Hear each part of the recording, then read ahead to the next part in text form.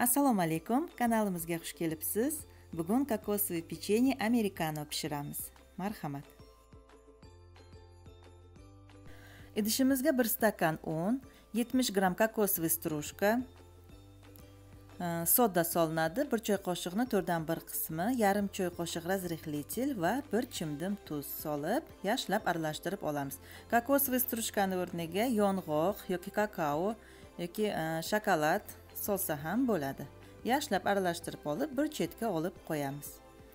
Endi alohida idishga 100 gramm sariyog'ni solib mikser bilan aralashtirib olamiz. Sariyog'imiz e, xona haroratida erigan sariyog' bo'lishi kerak. Ko'pdan ko'p aralashtirish shart emas taxminan 1-2 minut yetarli. Endi shakarimizni solib yana aralashtirishda davom etamiz.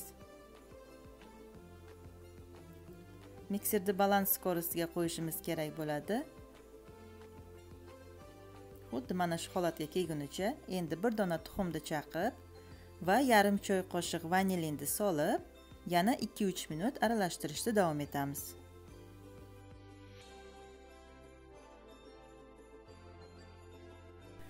Massamiz ham tayyor bo'ldi. Xuddi mana shu ko'rinishda bo'lishi kerak. Endi oldinroq tayyorlab qo'ygan un va kokosovый strushkalik massamizni solib lopatka yoki qoshiq yordamida aralashtirib olamiz. Oldin yarmini solish kerak bo'ladi.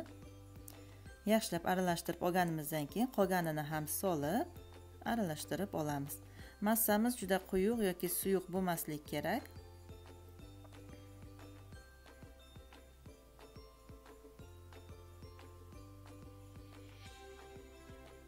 Xamirimiz ham tayyor bo'ldi. Xuddi mana shu ko'rinishda bo'lishi kerak.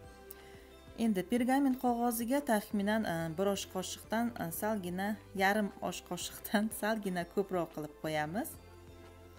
Ora oralarini uzoqroq qilib qo'yish kerak chunki pishganda bular yana yoyilishi mumkin va bir biriga yopishib qolishi ham mumkin. Va oldindan qizitilgan 180 darajada taxminan 20 minutda pishirib olamiz. Bu pechenyelar bir pasda pishib chiqadi. Pishganda ham yoyilib chiqadi.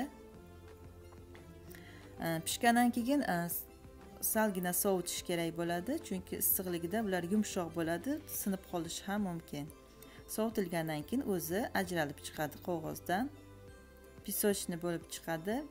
Marhamat siz ham tayyorlab ko'ring. Videomiz yoqdi degan umiddamiz. Keyingi videolarda ko'rishguncha sog' salomat bo'ling.